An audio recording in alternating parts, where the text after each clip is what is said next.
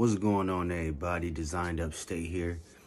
Uh, this video is just basically spreading love and sending my prayers out to Damar Hamlin and his family.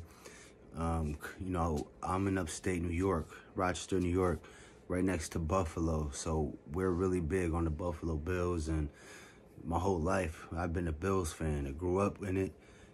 You know, it's a very it's a very close thing. It bring brings a lot of people together. We watch these games, have a good old time. Tonight, while watching the game, unfortunately, Damar Hamlin made a tackle against the Cincinnati Bengals. He got up and then collapsed backwards again. They administered him CPR on the field, and they took him away in a the ambulance, and they took him to the local hospital. Um, they basically postponed the game. It's not going to be finished they haven't gave us a time yet when the game's going to come back on. Most importantly, the only thing right now everyone is looking for is prayers for Damar Hamlin.